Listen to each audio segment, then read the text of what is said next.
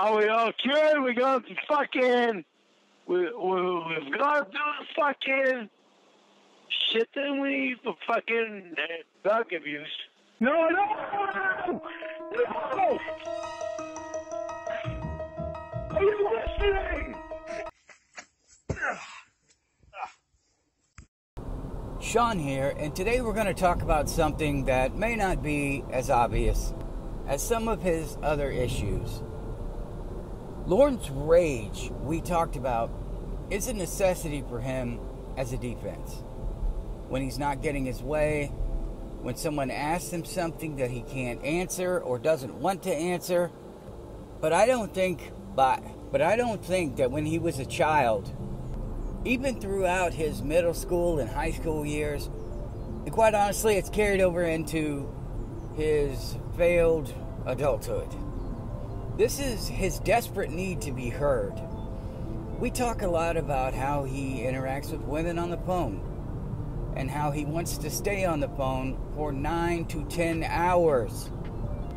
I have never had a 9 to 10 hour conversation in my life, and I have lived overseas people I hadn't talked to in years. The most we ever talked was like an hour, an hour and a half, and that was a dear friend who I hadn't seen in a long time. So let me just say this Lorne grew up in a household where he was the little guy. His siblings were probably the stars. We've heard his disdain for them when he talks to his mom. Why do you always stick up for them? I think Lorne was a screw up. He knows he's always been the screw up. He didn't get a lot of attention from girls. I think maybe a couple giggling schoolgirls in middle school may have thought he was cute. But you can't take looks and then balance them with his behavior. Because, yeah, he may get a little interest in the beginning. This is why he's a virgin, folks. He may get a little interest in the beginning, but from what I understand from, quote, Hank, unquote, he was always like this. He would scream and yell in the middle of an assembly. He would say some stupid shit. One time he was mooing, I guess. They had a class like theater play, and a heavyset girl came out, and he started mooing right in the middle of the play. So he was removed from the fucking auditorium. That doesn't surprise me at all. One time we were in a play, and a guy by the name of James Burchett, he had to kiss another girl during the play. It was really quiet. It was awkward. And I just said, get it, Burchett. And the whole theater started laughing because the joke, it was to break the tension. But Lorne, it was basically shaking his verbal dick at them, saying, Look at my little dick, pay attention to me. I said the Hank in quotes because that's not his real name. And I told somebody yesterday, listen, that's not his real name. And I will explain it again. He doesn't want his real name associated in searches with an alcoholic, abusive, rage monster pedophile, especially since he has kids and grandkids. He's probably going to send it back because he didn't want it, but because I am who I am, and the Italian in me says, I'm sending you a gift, you better take it. I sent him some money for his time because I would do it for anybody that did that for me. He didn't have to do that.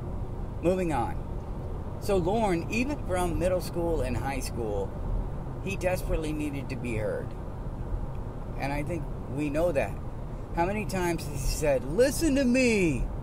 And some of you have pointed out he wants to be chased so bad. When he hangs up the phone, he's just sitting there waiting. They call back, What? This is a dream of his. This is a dream that he isn't the one having to call people back and bug them and leave a hundred messages because he is bipolar. We've talked about it. He wants that instant forgiveness, instant gratification, and he will he will not stop until they answer the phone. And that's the way they are. You know, I thought borderline personality disorder, but it's not the same. I kind of went back and forth. I've really evaluated my diagnoses of him, and I will tell you that bipolar 2 is it and I thought maybe bipolar 1, but it's not. And some of you could be right. This dude could be a psycho. And the reason I say that, in Germany, there was a killer, killed two women. This was back in the early 1900s, in the century that Mr. Penis was famously born. He killed two women and he put stones in the corners of their mouth. He is so obscure. He's in a book, but if you search for him on the internet, good luck. You may come across something, but it's not something significant. He's not going to draw attention like when you do a webpage on Ted Bundy.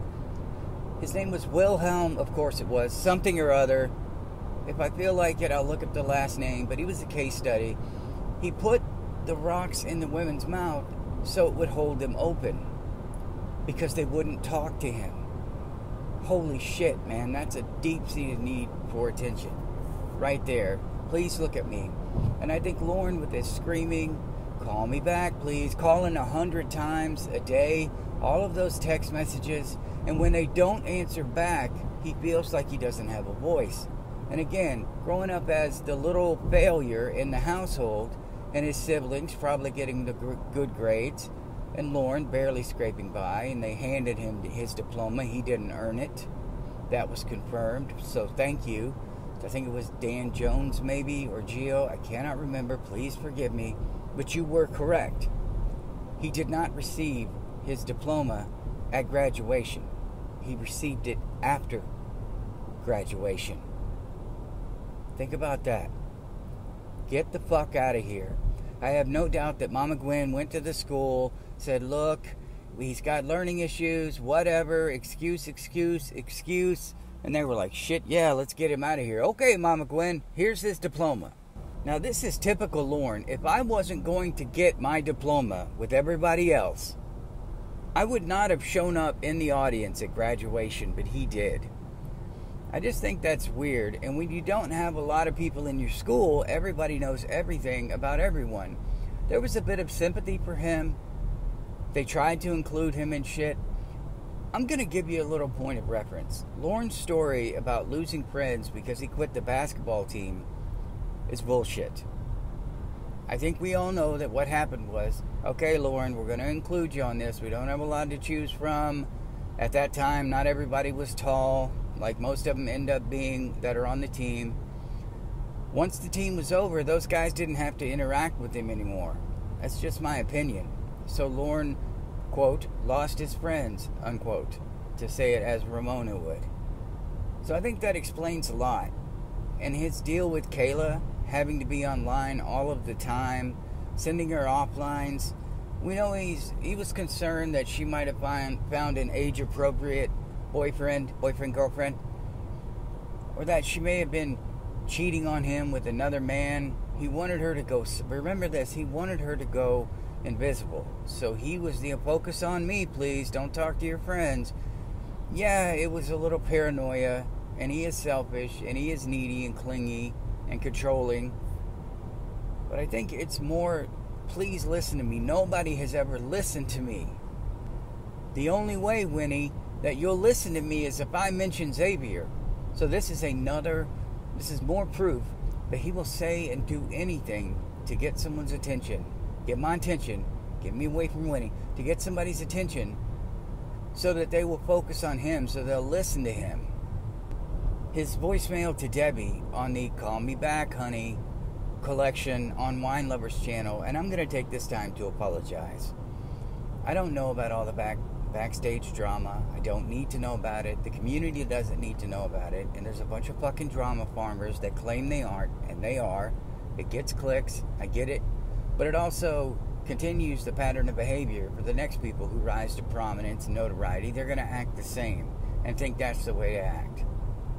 If you're in this community long enough and you're in a position where you get a little notoriety, you become Lorne I mean, Jesus, watch the Kelp Hill narrative. I forced myself to watch it. I couldn't believe these were adults interacting. It was unreal. We're talking about Lorne. The voicemail I was referencing.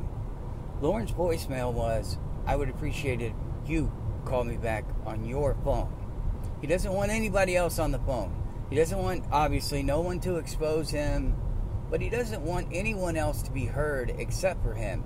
Imagine the hell he was in when when Barry the therapist would not shut up. he blocked him out. I guarantee you, Lorne was pacing around his trailer, wasn't even listening. He was immediately thinking of what he was going to say. Once he gets the floor, like when he was talking to Ramona, wrong, wrong, no, no. Once he gets the floor, he doesn't want to give it up. And yes, it is control, and yes, he wants to control the narrative. But at the same time, he's the only one that want, he's the only one that should be heard in his head. And the only way to make sure that happens is to never stop talking. Imagine in high school, you're in a group, you're all having a conversation. Here comes this little annoying guy, and he butts in and he starts talking about it. And as he did, apparently, you know, my mom, what my mom told me, my mom, you'd want to just drop kick him out of the group. But because he never got that attention, I give him the attention you deserve, because he never got that attention from people, it was always heaped on his siblings. And you know how Lorne's like, well, I went over and helped somebody move a bunch of bales of hay compared to the doctor. He doesn't want anyone else to have credit either. And we briefly touched on that. But when you don't have a voice, when what you say has never had value, and these catfish women pretend that it does, you give him an inch, he's going to take a mile. A 10 mile yard sale. He's going to take a mile. And he's not going to stop until someone makes him stop.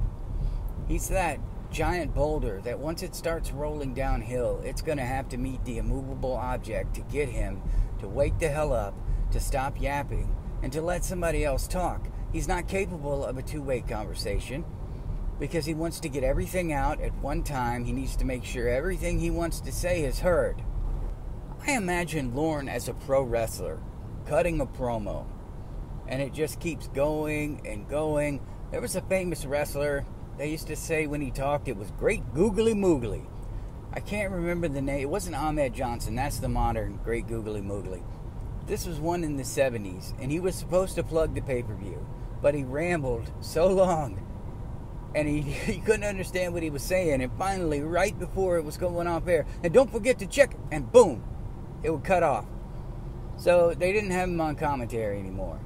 But if you gave Lorne the floor, he would talk for hours about nothing. Here's the deal you want to be heard, Lorne, but you have nothing to talk about.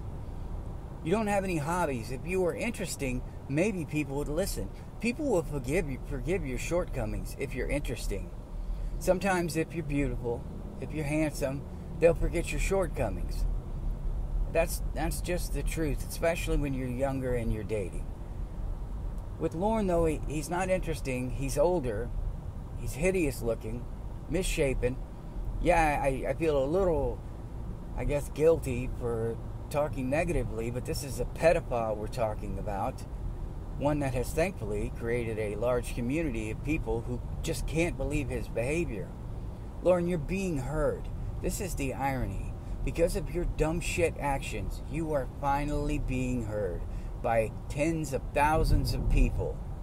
So you got your wish, Lorne.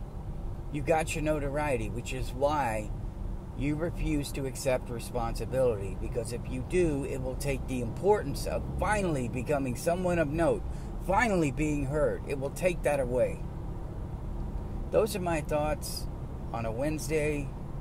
I love you guys. I made another video. I may put it out as well. It's catfish ideas.